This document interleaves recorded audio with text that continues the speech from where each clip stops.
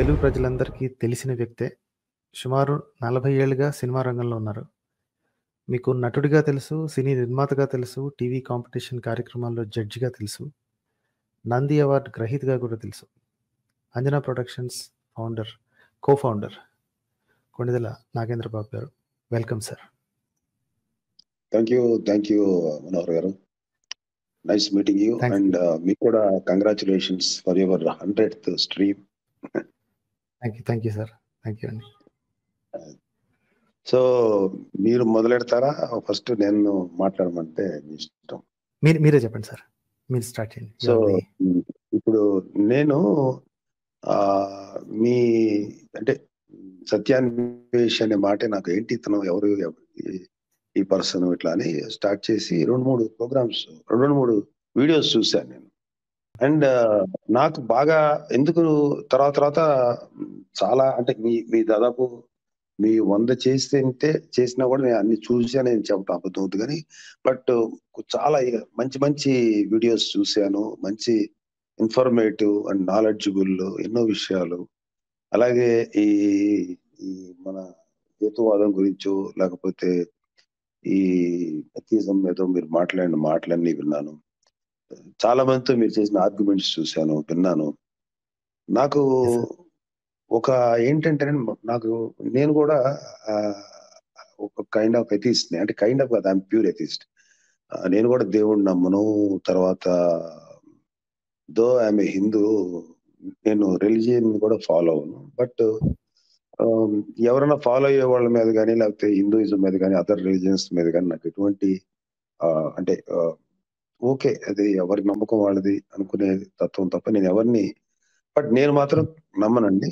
కాకపోతే నాకు ఒక బాధ అనిపించింది ఈ మధ్య కాలంలో ఈ యూట్యూబ్ ఎప్పుడైతే బాగా పాపులర్ అయిందో. ఎన్నో. ఎన్నో ఛానల్స్‌లో ఒక మతం వాళ్ళు ఇంకో మతాన్ని అతి క్రూరంగా, దారుణంగా తిట్టటం. చాలా అంటే డెరోగేటివ్ వర్డ్స్ తోటి తిట్టటం లేకపోతే అలా అలా కైండ్ ఆఫ్ ఆ టైప్ ఆఫ్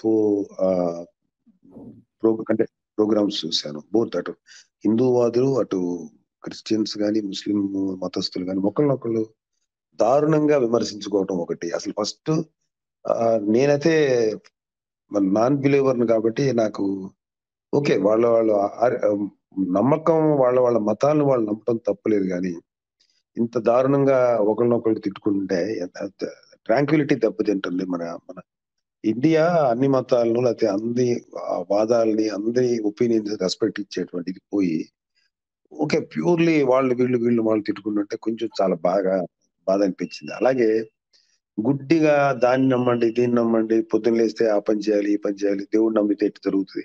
ఇలాంటి మూర్ఖంగా వన్ సైడెడ్‌గా ఎళ్ళిపోతున్న ఈ అంటే ఈ మరి అంటే నమ్మకం ఎవరెవరు ఇళ్ళల్లో ఎవరెవరి హ్మ్. టెంపుల్స్‌లో వాళ్ళు పూజలు చేసుకున్నా, లేకపోతే ప్రార్థనలు చేసినా ఆ మనకి ఎటువంటి అబ్జెక్షన్ లేదు. నేను కూడా మీరు మాట్లాడినప్పుడు చాలా సార్లు విన్నాను. సైలెంట్ గాను లేకపోతే మంచిగాను ఎట్లైనా సరే మీ మీ మత పందిరాల్లోనూ లేకపోతే మీ ఇళ్ళలోనూ ఎవరు సైలెంట్‌గా పూజ చేసుకుంటే మాకేమి అబ్జెక్షన్ లేదు. మా మేమేమి వాళ్ళని విమర్శించట్లేదు అని అన్నారు చూసారా? నాది కూడా అదే ఒపీనియన్.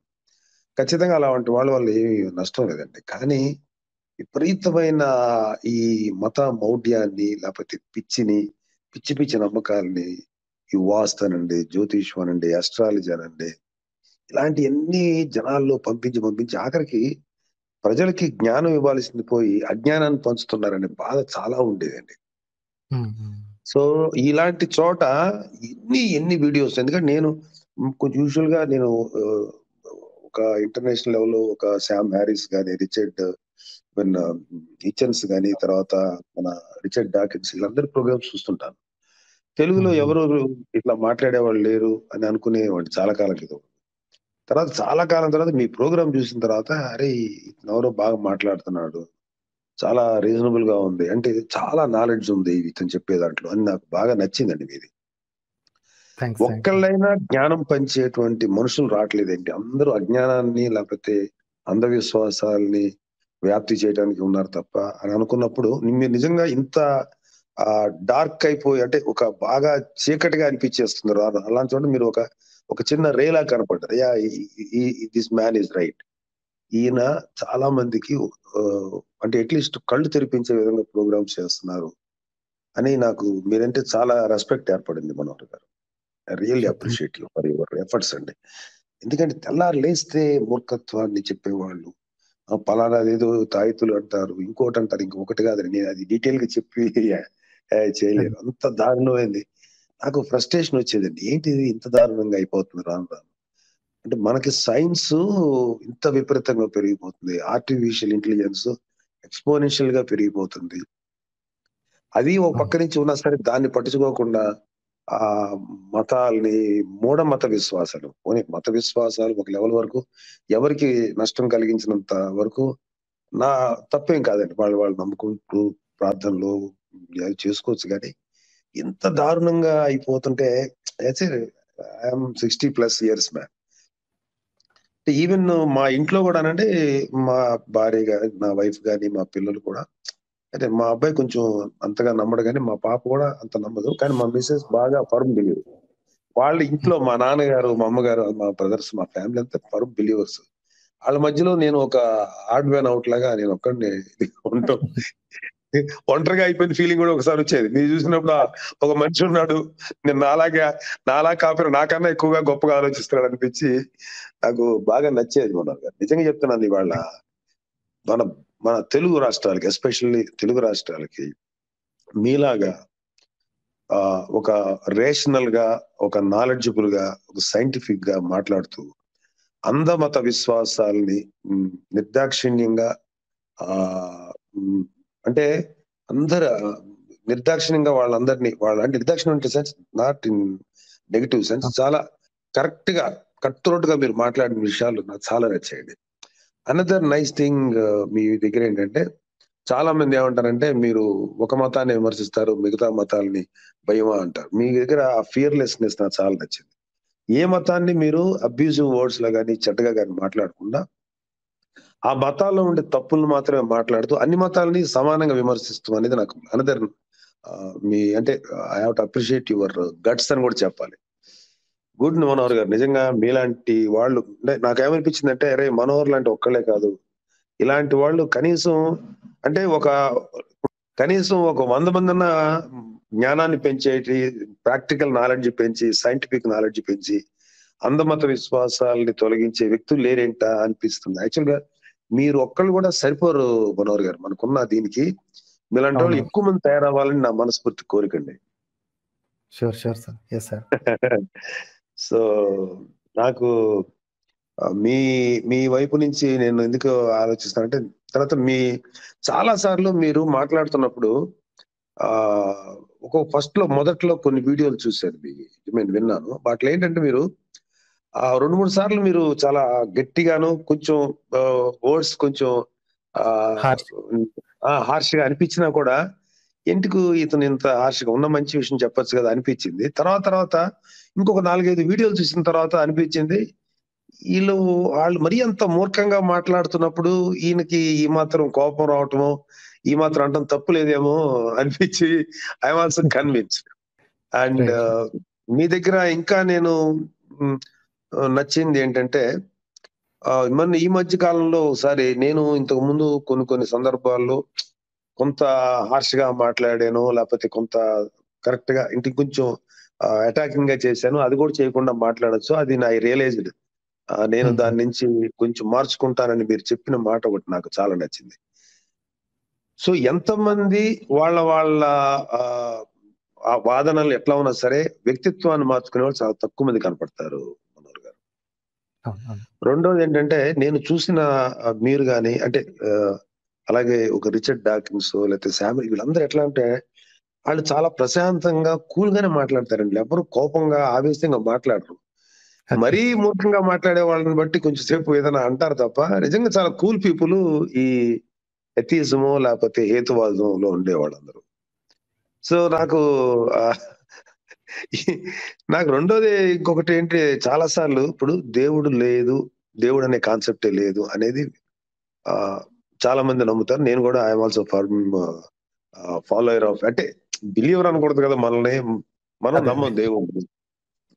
సో చాలా మంది మీతో ఆర్గ్యూ చేసినప్పుడు కానీ లేకపోతే కొన్ని నేషనల్ ప్రోగ్రామ్స్ ఇంటర్నేషనల్ ప్రోగ్రామ్స్ చూసినప్పుడల్లా చాలా మంది దేవుడు లేడు దేవుడు అనే కాన్సెప్ట్ లేదు మనం అంటే మీలాంటి వాళ్ళు ప్రోగ్రామ్స్ చూసినప్పుడు అంటుంటారు కదా దేవుడు లేడు అసలు ఆ కాన్సెప్ట్ రాదు.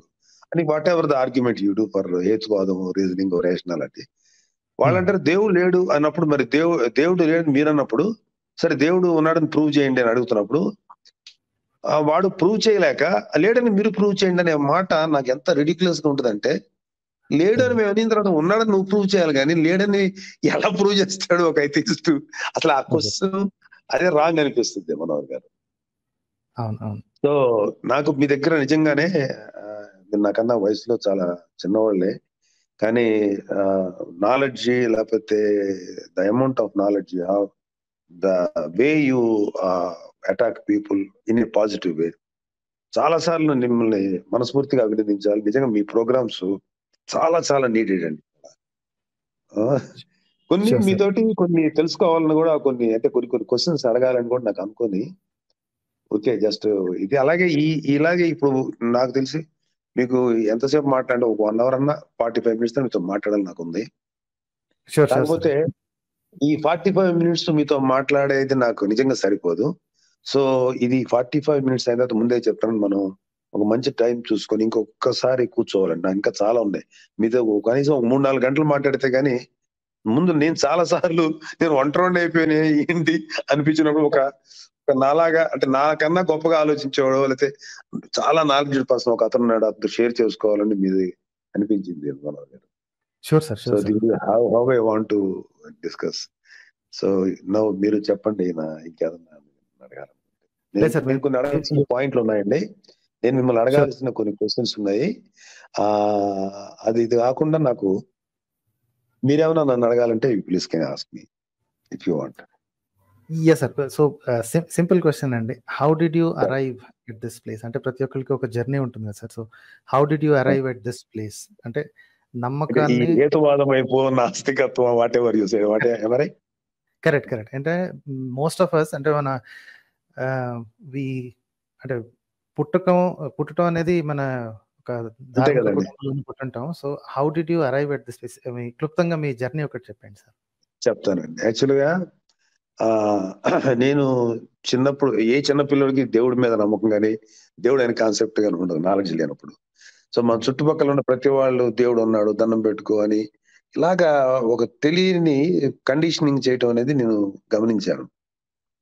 ఇన్ వన్ వే అండి మా నాన్నగారు కూడా కొంచెం స్పిరిచువల్ పర్సన్ అయినా మమ్మల్ని ఎప్పుడు కూడా ఆ గన్ పాయింట్లో బెదిరించి మీరు పూజలు చేయండి అని చెప్పలా. మా అమ్మగారు కానీ చెప్పలా. వాళ్ళంతా నమ్మకాలతో పూజ చేశారు. స్లో స్లోగా నా చుట్టుపక్కల ఎన్విరాన్మెంట్తో నేను నమ్మటం. మా నాన్నగారు రాను రాను రాను my father he became a religious person Anjaneya స్వామిని బాగా పూజించటం. ఇలా చాలా చేశారండి. తర్వాత మా బ్రదర్స్ కూడా దే ఆర్ ఫర్మ్ బిలీవర్స్ మా బ్రదర్ పవన్ కళ్యాణ్ గారు కానీ మా అన్నయ్య గారు కానీ they are very firm believers అలాగే మా మా రెస్పెక్టెడ్ వైఫ్స్ అదర్స్ అందరూ. నాకు నేను కూడా చాలా కాలం పాటు మా పిల్లలు చెప్పేవాడిని దేవుడు ఉన్నాడు లేడని డౌటే పెట్టుకోవద్దు మీరు నమ్మి తీరాల్సిందే. That is the only option అని చెప్పి నేను కూడా నా పిల్లలకు కొన్నిసార్లు చెప్పాను. తర్వాత తర్వాత తర్వాత అండి వెళ్ళే కొద్దీ నాకు ఎక్కడ ఏ మరి నేను వ్రతాలు చేశాను యజ్ఞాలు చేశాను హోమాలు చేశాను ఆ దేవుడి చాలా చాలా చేశాను ఓనర్ గారు. కానీ అదే జాతకాలు నమ్మేవాడిని లేకపోతే అస్ట్రాలజీ నమ్మేవాడిని. రాను రాను రాను ఏమైపోయిందంటే నా నేను ఎటు కదలాలన్నా ఈ వాస్తు ఇది వాస్తు ఒకటి ఎటు కదలాలన్నా ఇవన్నీ బిగించేసేసి ఎక్కడో. ఫ్రీడమ్ లేకుండా అయిపోతున్నాను ఏంటి అనేటువంటి ఫీలింగ్ వచ్చిందండి సో అన్నిటికన్నా మధ్యలో ఒక కొంతకాలం పాటు దేవుడు లేదు అనే కాన్సెప్ట్లో ఉంటా మళ్ళీ లేదు లేని మళ్ళీ కన్విన్స్ అయ్యి మళ్ళీ బిలీవింగ్ అనే నమ్మకం వైపు దేవుడు పూజలో లేకపోతే మతం వైపు దేవుడి వైపు వెళ్ళిన తర్వాత exactly at the age of my నాకు ఒక అరవై యాభై ఎనిమిది యాభై ఏడేళ్ళ వయసులో సడన్గా నాకు ఒక ఒక రియలైజేషన్ వచ్చిందండి దానికి కారణం చెప్తాం. మేము ఈ పొలిటికల్ ప్రాసెస్లో ఉన్నప్పుడు రకరకాల మనుషులు మా చుట్టుపక్కల వస్తుంటారు. ఒక అతను ఏమండి మీకు ప్రాణగండం ఉంది. ఈ జర్నీలో మీరు ఆ ఇది కనక పుష్పరాగం పెట్టుకోండి. వీలికి అంటే నేను ఏంటి ఇట్లా చెప్తున్నాడు అంటే నేను మేము దేవుణ్ణి నమ్మినా పూజలు చేసినా మరి అంత మూర్ఖత్వంగాను లేవు కానీ ఎట్ ద సేమ్ టైం తెలియకుండా ఒక భయము ఒక ఇది ఏర్పడింది. సరే అని డబ్బులు తీసుకుని వన్ అండ్ హాఫ్ ల్యాక్ పెట్టి ఉంగరం చూపుడు వేలు పెట్టుకున్నా. ఇంకంతే ధైర్యం క్లాస్ కలిగి ఓ ఫీలింగ్ వచ్చింది. ఇలాగా అలాగే కొన్ని కొన్ని సార్లు ఈ వాస్తులో చెప్పేటప్పుడు ఏంటిది? ఇలా అర్థం లేకుండా అనిపిస్తున్నా సరే లేదండి ఇది పిల్లలకు మంచిది కాదు వాళ్ళకి అన్నప్పుడు ఒక ఫీర్ ఉంటది అయ్యో నా- నా అపనమ్మకం నా ఇదో పిల్లలకి ఎఫెక్ట్ అవుతుందని యాజ్ ఎ ఫాదర్గా మళ్ళీ కొంత భయపడటం ఇలా జరిగి జరిగి ఎగ్జాక్ట్లీ నేను లైఫ్లో ఒకసారి బాగా దెబ్బతిన్నానండి ఎకనామికల్ గాను అన్ని విధాలుగా. So hmm. నెమ్మదిగా నాకు నేను రికవర్ అవుతున్నాను. అవుతున్నప్పుడు అప్పుడు వచ్చారండి నా దగ్గరికి. ఏమండి మీ జాతకంలో శని మహర్దశ ఉందన్నాడు ఒక అతను. మీరు ఫలానా పూజలు చేయాలండి శనికి తైలాభిషేకం చేయమన్నాడు ఒక అతను. అవన్నీ చేశాను గారు. అలాగే మీరు ఫలానా యజ్ఞం చేయాలమన్నారు మీ బ్రదర్స్ తోటి హ్యాపీగా ఉండాలంటే ఇలాంటి పూజ ఫలానా దేవుని పూజ చేయమన్నారు. రాను ఏంటి ఇంత ఇంత దారుణంగా ఉంటుందండి? నేను కష్టపడినా దెబ్బతిన్నా నా స్వయంకృత అపరాధం దెబ్బతిన్నాను. పైకి వచ్చినా నాకు నేనే కదా వచ్చాను. ఈ- మరి మా ఇంట్లో దారుణం. అంటే భయంకరంగా బిలీవ్ చేస్తారు. నేను వాళ్ళ వైపు నాకు ఎటువంటి అబ్జెక్షన్ లేదు. తప్పేది వాళ్ళ వాళ్ళ నమ్మకం మ్మ్. చూసి చూసి చూసి తర్వాత మీలాంటి వాళ్ళ ప్రోగ్రామ్స్ అనో లేకపోతే నేను కొన్ని ఆ బుక్స్ చదవటం కానీ అలాగే నాకు చాలా ఇంట్రెస్ట్ అండి సైన్స్ మీద స్పేస్ మీద వీటి మీద. ఎన్ని ఇంట్రెస్ట్ అన్ని వచ్చిన తర్వాత ఇది అసలు టోటల్గా అంటే ఏమంటారు చూడండి నేను ఎన్లైటైన్మెంట్ అనే వాట వాడను కానీ రివర్స్ అదే. ఎన్లైటైన్మెంట్ దేవుడు లేదు అనేది పక్కాగా అర్థమైపోయిందండి so. That one fine day I left everything అండి ఆఖరికి నా చేతికి ఉంగరం ఉంది ఆఫ్టర్ ఆల్ ఈ ఒక్క రాయి నా ప్రాణం కాపాడే పని అయితే ఈ తొక్కల రాయి ఉంటే పోతే ఏంటని తీసి ఇస్త్రీ పక్కన పడేసి అంటే పడేయలేదులేండి మా ఆవిడకి తిరిగి అమ్మేమన్నాను డబ్బులు కదా. సో ఆ అసలు మీకు మీరు కావాలంటే నా పాత వీడియోస్ చూడండి అంటే నా జబర్దస్త్ చూడండి నా మెడలో ఆ రుద్రాక్ష మాల ఉంటుంది నా చేతికి ఆంజనేయ స్వామి ఉంగరాలు ఉంటాయి రాళ్ళు ఉంటాయి ఏదేదో ఉండేయండి. ఇన్ని. మొత్తం తీసి పడేసి దేవుడి గదికి వెళ్ళటం బొట్టు పెట్టుకోకుండా బయటకు రానండి. దేవుడికి దండం పెట్టకుండా బయటకు రాను. పొద్దున లేవగానే దండం పెట్టుకునేవాడిని. తర్వాత రకరకాల అపశకునాలు నమ్మేవాడిని. కళలు ఈ కళలు వస్తే అలాగే అలాగే ఒక ఎంతో కొంత ఈ ఈవిల్ ఈ దేవుళ్ళు అంటే దెయ్యాల కొంచెం భయం ఉండేది. ఇంటర్ ఇది ఉంటే అది కూడా ఉంటుంది ఎప్పుడైతే దాని నుంచి బయటపడ్డానో టోటల్గా అండి మీకు అంటే ఎవరైతే మీ లిజనర్స్ ఉన్నారో మీతో పాటు వాళ్ళు కూడా చెప్పాల్సింది ఏంటంటే I want everyone to see the taste of atheism how how much freedom మనకు దొరుకుతుంది? ఎంత ఫ్రీడమ్ అంటే అబ్బా ఇంత ఫ్రీడమ్ ఉందా ఎథిజంలో మనల్ని ఎవరు అడిగేవాళ్ళు లేడని సో ఈ విధంగా నేను బయటకు వచ్చానండి. అయితే ఒక్కటైతే చెప్పాలి మనోహర్ గారు. నేను theism లో ఉన్నప్పుడు దేవుణ్ణి నమ్మేటప్పుడు నిజంగా నాకేం నష్టం అయితే ఏం జరగలేదు కానీ రాను రాను మూర్ఖత్వ కోరలోకి వెళ్ళిపోతున్న పరిస్థితులు వెనకొచ్చాను తప్ప మేము దండం పెట్టుకున్నా దేవుడిని పూజ చేసినా ఏం చేసినా కూడా మాకు ఎంతో కొంత అంటే in not in spiritual way discipline. కానీ ఇంకొంత మంచి మంచి అలవాట్లు అయినాయి తప్ప మేమేమి ఆ పూజలు చేయటం వీటిలు చేయటం మాకు నష్టం అయితే జరగలేదు. కానీ. నాకు బిగ్గెస్ట్ క్వశ్చన్ ఏంటంటే అసలు జనాల్ని జాతకాలు పేరు పెట్టి భయపెట్టేయటం లేకపోతే ఈ ఆచారాలు పెట్టి ఆచారాలు వ్యవహారాలు వీటితో భయపెట్టడం ఈ కస్టమ్స్ అని భయపెట్టడం ఇవన్నీ కూడా చూసిన తర్వాత ఇంత భయపెట్టాలా జనాల్ని ఫర్ ది సేక్ ఆఫ్ ఆ మతం అని? ఈ మతమో లేకపోతే జ్యోతిషమనో లేకపోతే వీటి మీదో లేకపోతే మూర్ఖపు పిడివాదాలతోటో ఇంత భయపెట్టాలి జనం సో దట్ నా మతాన్ని ఎప్పుడో వదిలేశానండి. మతాన్ని ఆ బిలీఫ్ని దేవుడు బిలీఫ్ వదిలేశానండి. సో నాకు కూడా అండి దేవుడు నమ్మే వాళ్ళ మీద ఎటువంటి ఆ ఫీలింగ్ ఉండదు ఎందుకంటే ఓకే వాళ్ళ నమ్మకం అనేది సింపుల్గా ఉండటం వల్ల ఎవరికి నష్టం లేదు కానీ దాన్ని ఒక అడ్డం పెట్టుకొని దాన్ని రాజకీయం చేసో లేకపోతే దాన్ని ఆ ఒక పవర్ కోసం లేకపోతే మేము ఎట్లయినా సరే మిగతా మనుషుల మీద ఒక గ్రిప్ రావడం కోసం వాళ్ళ మీద ఆధిపత్యం చెలాయించడం కోసం ఈ మతాన్ని వాడుకునే వాళ్ళని చూస్తే మాత్రం సో విసుగు వచ్చేసి వదిలేశాను మనోహర్ గారు. Right right.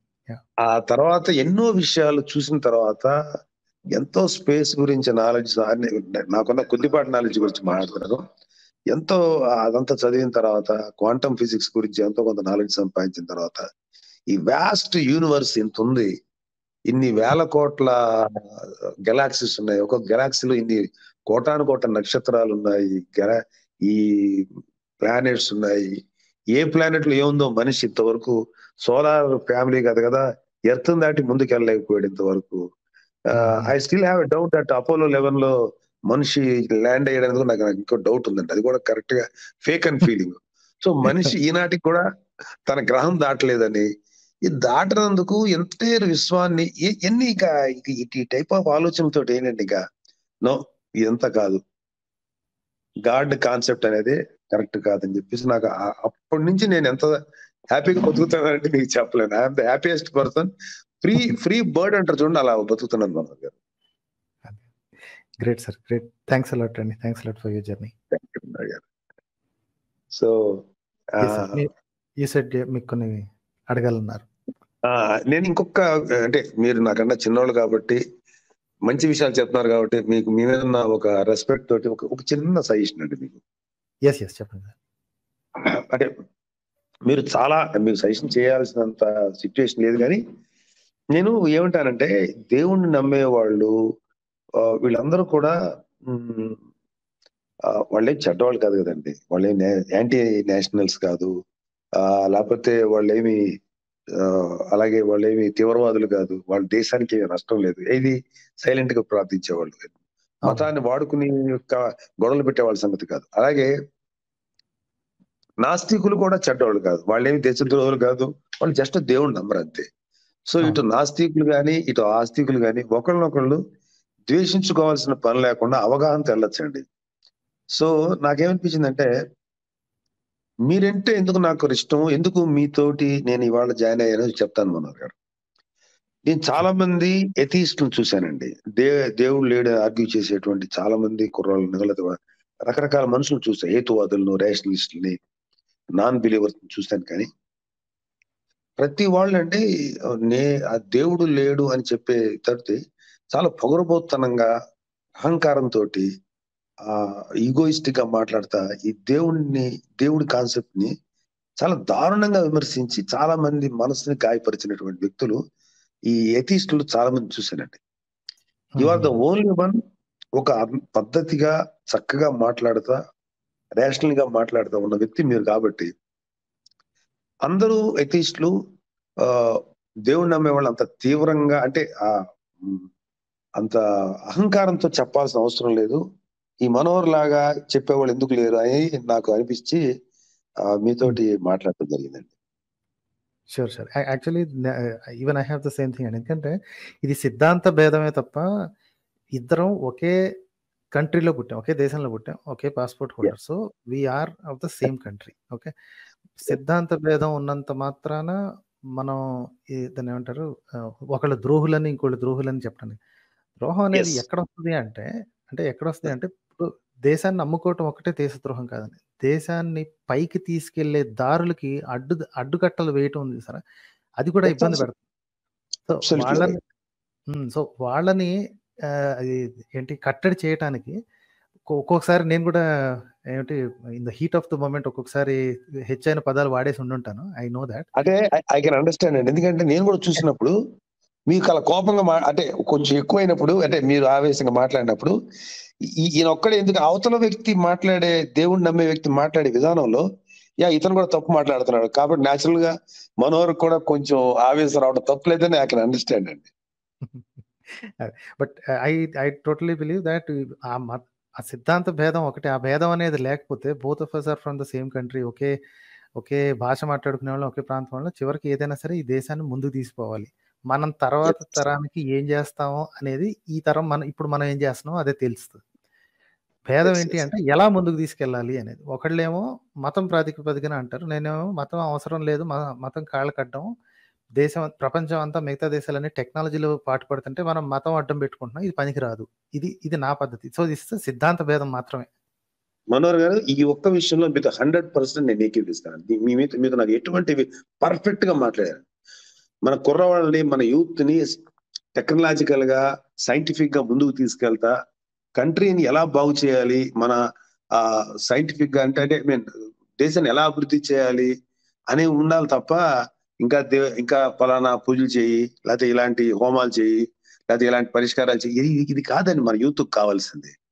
They. Need knowledge they need technological advancement అది అట్లీస్ట్ అటువైపు నడిపించకుండా తల్లిదండ్రులు కూడా దారుణంగా పిల్లల్ని చిన్నప్పటి నుంచి మతం వైపే నడిపించడం అనేది నాకు ఇప్పుడు ఇప్పటికి జీర్ణి జీర్ణం కాని విషయం అండి. అర్థం కాదు నాకు అది. సో నేను నేను ఒక ఒక ఆయన చూశాను మనోహర్ గారు. మన జావేద్ అఖ్తర్ గారిది ఇంటర్వ్యూలో ఒక మంచి మాట అన్నాడండి.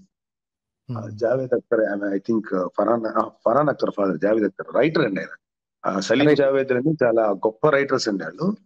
నాకు తెలియదండి ఆయన ఇంత హేతువాదేనో లేకపోతే ఇదేనో. నేనేమన్నా అతను ఏమన్నాడంటేనండి ఆ ఇప్పుడు మనం ఈ రోజుకి హేతువాదులైనా లేకపోతే దేవుణ్ణి నమ్మేవాళ్ళైనా ఈ సతీ సహగమనం కానీ లేకపోతే ఈ బాల్య వివాహాలు కానీ ఇవన్నీ కూడా ఈ దేవుడిని దేవుణ్ణి నమ్మే వాళ్ళు కూడా దాన్ని ఖండిస్తారు. ఖండిస్తారు. ఎలాగో నమ్మని వాళ్ళు ఎట్లా ఖండిస్తారు? ఆ, అతను ఏమంటాడంటే మీరు ఒక బాల్య వివాహంని ఎందుకు ఖండిస్తున్నాం చిన్న పిల్లప్పటి నుంచి ఆ పిల్లకి పెళ్ళి అంటే ఏంటి? సంసారం అంటే ఏంటి? అదేమి తెలియని పిల్లకి బలవంతంగా తాళి కట్టించేసి నీ బతుకు నువ్వు బతుకని చెప్పడం ఎంత తప్పు? కాబట్టి కదా మనం దాన్ని మనం ఖండం చేసి ఈరోజు రూపుమాపాం అందుకని పిల్లలకి పుట్టినప్పటి నుంచి నువ్వు పొద్దున్నే లేచి దండం పెట్టుకో లేకపోతే ఈ ఆచారం చేయి ఇలా చెప్పకూడదు. వాడికి దేవుడు అనే కాన్సెప్ట్ ఏమి తెలియనప్పటి నుంచి వాడి బ్రెయిన్ని ఇలా చేయకూడదు. అది యాజ్ అది ఇట్ ఇట్లాగా ఎప్పుడే చిన్న పిల్ల ఈ బాల్య వివాహాలు ఇలాంటి తప్పులు ఎంత తప్పు చిన్నప్పటి నుంచి మత విశ్వాసాలు నూరిపోయడం అంత తప్పు అన్నాడండి. నాకు దట్ మ్యాన్ అండి చాలా గొప్ప మాట్లాడనిపించింది పర్ఫెక్ట్ కరెక్ట్ అండి. చాలా చాలా నచ్చింది అది కూడా. చిన్న అంటే ఫస్ట్ టూల్స్ ఆఫ్ థింకింగ్ ఇచ్చి తర్వాత నీకు ఏ మతం కావాలంటే ఆ మతం తీసుకో. పదమూడు పద్నాలుగు ఏళ్ళకి వచ్చేటప్పటికి ఇప్పుడు పిల్లలకి అందరికీ తెలిసి వస్తుంది విషయాలు తెలిసి వస్తున్నాయి. So learn about other all religions నీకు నచ్చింది చూస్ చేసుకో. ఏది అక్కర్లేదు నాకు ఐఎమ్ హ్యాపీ వితౌట్ రిలీజన్ అంటే be without religion so all options are on the table పెట్టేశాడు. చెప్పారు. తర్వాత మీరు కొంతమంది ఈ మూర్ఖంగా ఉన్నటువంటి కొంతమంది మత విశ్వాసులు లేకపోతే వీళ్ళు ఎవరు ప్రవచనకర్తలు వాటెవరితో వాళ్ళతోటి మీరు ఆర్గ్యూ చేస్తున్నది వాళ్ళ గురించి మీరు మాట్లాడుతున్నది మీకు వాళ్ళు ఇచ్చిన కౌంటర్స్ తిరిగి వాళ్ళకి మీరు ఇచ్చిన రీకౌంటర్స్ ఎన్ని చూసిన తర్వాత నాకు అంటే అంటే I should not say this word enjoy చేస్తాను చెప్పలేను కానీ ఇట్స్ వెరీ ఇంట్రెస్టింగ్ అనమాట. చాలా నవ్వుకున్నాను. ఏంటి ఇప్పుడు ఆ అబ్బాయికి ఏం తెలుసు అండి అతనికి ఏం తెలుసు? అతను ఒక మూర్ఖంగా మాట్లాడతాడు. అతని మనకి తెలుసు కదండి ప్రతి మాటకి పది రకాల అర్థాలు ఉంటాయి. దానికి ఈ ఎంత రెడిక్యులస్ అండి ఇది. అని ఒక వ్యక్తి ఒక కుర్రవాడు లేకపోతే ఒక చిన్న ఒక నాలెడ్జ్ ఉన్న జ్ఞానం ఉన్న కుర్రవాడు లేదా ఒక మనిషి ఒక పెద్ద ఒక అబ్బాయి ఒక అతనితో బాగా చెప్తుంటే నువ్వు దాని ఆన్సర్ చెప్పకుండా ఇలాంటి మాటలు మాట్లాడతారేంటి? ఎవరు? మిమ్మల్ని కౌంటర్ చేస్తే హూ ఎవర్ కౌంటర్స్ యూ తర్వాత ఒక్కటి క్వశ్చన్ అడుగుతానండి నాకు. ఇప్పుడు అంటే నేను మిమ్మల్ని ఎందుకు అడుగుతానంటే కొన్ని మతపరమైన ప్రశ్నలు మిమ్మల్ని ఎందుకు అడుగుతానంటే మీరు హానెస్ట్ ఆన్సర్స్ మీ దగ్గర నుంచి వస్తాయి. ఇప్పుడు ఈ రిలీజియస్కు సంబంధించిన విషయాలు అడుగుతుంటే కొంతమంది ఆ దేవుడి విషయాలు నమ్మేవాళ్ళు నాకు మసిపూసి మారేడికాయ చేసి చెప్తారని నాకు తెలుసండి. సో మిమ్మల్ని ఎందుకు అడుగుతానంటే మీరు కొన్ని కరెక్ట్గా చెప్తారు ఎందుకంటే మీకు అటువైపు నాలెడ్జ్ ఉంది ఇటువైపు నాలెడ్జ్ ఉంది. ఇప్పుడు మీరు నన్ను ఇంప్రెస్ చేయడానికో లేకపోతే దేవుణ్ణి నమ్మే వాళ్ళని ఇంప్రెస్ చేయడానికో దేవుణ్ణి నమ్మని వాళ్ళని ఇంప్రెస్ చేయడానికి మాట్లాడరు కాబట్టి ఒక క్వశ్చన్ అడుగుతారు అసలు చాలా మంది నాన్ బిలీవర్స్కి దేవుడు నమ్మ దేవుడు లే అదే బిలీవ్ చేసే వాళ్ళకి హార్డ్ కోర్ బిలీవ్ చేసే వాళ్ళకి గాడ్ కాన్సెప్ట్ అనేది లేదు దేవుడు అనే కాన్సెప్ట్ లేదు. ఇది తప్పు. ఇది యాక్చువల్గా ఇదంతా మనిషి తయారు చేసుకుని దాన్ని చెప్తుంటే వీళ్ళకి ఎందుకంటే కోపం వస్తుంది? నాకు ఒకసారి చెప్పండి. ఆ, నా డౌట్ ఏంటంటేనండి because I was once upon a time ఇదే కాబట్టి. మీరు కూడా. చెప్పండి. ఇట్ హిట్ వాళ్ళకి వాళ్ళ ఈగోని టచ్ చేస్తండి ఫస్ట్ ఏంటంటే వాళ్ళు చాలా సంవత్సరాల పాటు ఒక ఒక భక్తి భావాన్నో ఒక దీన్నో మోస్తున్నారు. నమ్మకాన్ని నెత్తి మీద మోస్తున్నారు. ఇప్పుడు ఆ నమ్మకాన్ని మనం ఏ చిన్న అది అవమానకరంగా అనుకోవచ్చు లేకపోతే విమర్శనాత్మకంగా అనుకోవచ్చు ఏ చిన్న మాట చెప్పినా వాళ్ళకి immediate గా అంటే నేను ఇన్నాళ్ళు నమ్ముకున్నది మా తాతలు తండ్రులు మా గురువులు అందరూ చెప్పింది అబద్ధం చేస్తున్నాడు ఇతను అన్న హట్టుకి వాళ్ళు ఇదవుతారు తప్ప ఇప్పుడు దేవుడు అనే కాన్సెప్ట్ని వాళ్ళు చూడలేదు మనం చూడలేదు వాళ్ళు ఎవరు ఎక్స్పీరియన్స్ చూడలేదు. కానీ వాళ్ళకి హర్ట్ అవుతారు. ఇప్పుడు. వాళ్ళేం థింక్ చేస్తారంటే, అందరూ ఇలాగే హర్ట్ అవుతారనుకుని ఎదుటి మనిషి వాళ్ళ నమ్మకాలని, వాళ్ళ యొక్క హీరోస్‌ని అటాక్ చేయడానికి ట్రై చేస్తారండి. వాళ్ళకి యాహ్! ప్రాబ్ వాళ్ళకి ప్రాబ్లమ్ ఎక్ అంతా ఏంటంటే, న నేను నమ్ముకున్న దాన్ని వీడు తిడతాడా అని. ఇప్పుడు! నమ్మకం అనేది విమర్శిస్తాడా? న లేదు అని చెప్తాడా? అది. అనే అది. ఒక అది. ఇగో అంటే ఒక ఆళ్ళ అహం వాళ్ళ వాళ్ళ నమ్మకం మీద దెబ్బ కొట్టేస్తున్నాడు అని నాకు ఒక్కటేంటంటే ఆళ్ళు నమ్ముతున్నారు గదండీ! నమ్ముతున్నప్పుడు ఎవరు ఏం చెప్తే ఎందుకు భయపడాలంటే వాళ్ళకి కూడా ఎక్కడో చిన్న స్కెప్టికల్‌గా డౌట్ ఉండే ఉండుంటది. అందుకని! భయపడతారేమో అనిపిస్తుంది ఒక్కోసారి. నా నాకు కూడా అదే అనిపించింది. ఇప్పుడు నిజంగా నేను ఒక దేవుడిని విమర్శించను. నేనెప్పుడూ డైరెక్ట్‌గా దేవుడిని అనేది చేయలేదు. ఎందుకంటే ఐ థింక్. మిథికల్ క్యారెక్టర్స్ అని. అన్నీ ప్రజలు రాసుకున్న కట్టుకథలు అని నా ఉద్దేశం. సరే నీతి కథలు, రైట్. కట్టుకథలు ఖచ్చితంగా రైట్ మనోహర్ గారు. ఖచ్చితంగా రైట్ అండి. ఈ విషయంలో no arguments with you. So, నీతి నీతి కథ కోసం రాసుకున్నారో, లేకపోతే ఏంటి ఎంటర్టైన్మెంట్కి రాసుకున్నారో మొత్తానికి అది ఇప్పుడు ఒక పెద్ద ఇదిగా కూర్చుంది. దైవంగా కూర్చుంది. Very good. నో ప్రాబ్లం ఆ మాటకి నేను లేదు ఇలా ఈ దేవుడు అనేవాళ్ళు లేరు. లేదా ఇలాంటి క్యారెక్టర్ ఉండే అవకాశం లేదు అనగానే వాళ్ళు ఎందుకు హర్ట్ అవుతున్నారు? అంటే నిజంగా ఆ దేవుడు అంత పవర్‌ఫుల్ అయితే వాళ్ళు తయారు చే వాళ్ళని తయారు చేసిన దేవుడే నన్ను కూడా తయారు చేసినట్టు కదా! At least in their belief system. Natural. Right. Right. అలాంటప్పుడు ఏంటి లేడు అన్నప్పుడు దేవుడే నన్ను చూసుకోవాలి కదా! వీళ్ళెందుకు హర్ట్ అవ్వాలి? వీళ్ళు సింపుల్‌గా I am happy with my belief. నా వాళ్ళకి లేకపోతే లేకపోయాడు. వాళ్ళ మూర్ఖులు, అమాయకులు అని నన్ను తిట్టుకోవచ్చు. Right? They could say! That ఈళ్ళకసల ఇదేంటో ఆ నమ్మకాలు లేవు. మరి నాకింత ప్రస్ ప్రశాంతత కలుగుతుంది. ఇదేంటి ఇది ఒక పూజ చేసుకుంటేనో, లేకపోతే ఒక కళ్యాణం చేసుకుంటేనో నేను ఎంత హ్యాపీగా ఫీల్ అవుతున్నా. But they not happy truly అండి. పక్కనోళ్ళు యెస్. లేదు ఇక్కడ దేవుడు లేడు, లేకపోతే ప్రశ్నార్థకం అన్న ప్రశ్న ఎత్తగానే మరి ఆ స్థితప్రజ్ఞత ఏమైపోతుందో, మరి ఆ ప్రశాంతత ఏమైపోతుందో పీకల దాకా కోపమొచ్చేస్తుంది వాళ్ళకి. నేను ఒక ఒక చిన్న సారీ ఇంటరప్షన్ అండి. ఆళ్ళకెందుకు వస్తుందో చెప్ నాకు అనిపించిన ఎక్స్‌పీరియన్స్‌లో చెప్తానేంటంటే, వాళ్ళకున్న డౌట్‌ని మనం పెద్దది చేస్తున్నారు. మీలాంటి వాళ్ళందరూ వాళ్ళకున్న సందేహాన్ని కన్ఫర్మ్ చేస్తున్నారనే కోపం గూడా ఉండొచ్చేమో అనుకుంటున్నా నేను.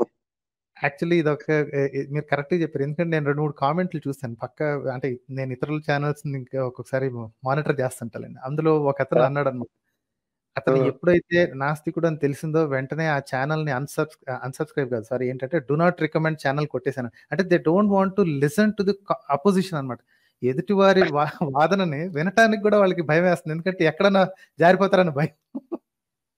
కరెక్ట్ అండి. నేను నాకు నేను మా ఇంట్లో గాని, నా ఫ్రెండ్స్‌లో గాని చాలా మంది ఒక ఒకళ్ళిద్దరు మినహాయించి ఈ టాపిక్ ఎంతగానండి ఎవరికాళ్ళు సైలెంట్‌గా నాకు ఎందుకురా మీరు అంత భయపడతారంటే, ఏమైనా నువ్వు గబుక్కుని కన్విన్స్ నేను మీలా తయారయ్యే అవకాశం మాకు వద్దు. మా మాకు ఆ పరిస్థితి తీసుకురావద్దు అని దూరంగా వెళ్ళిపోతుంది నన్ను చూసి చిరాగ్గా కాదు, భయంతో వెళ్ళిపోతారు నేను అందుకని తగ్గించాను ఆళ్ళతో మాట్లాడటం.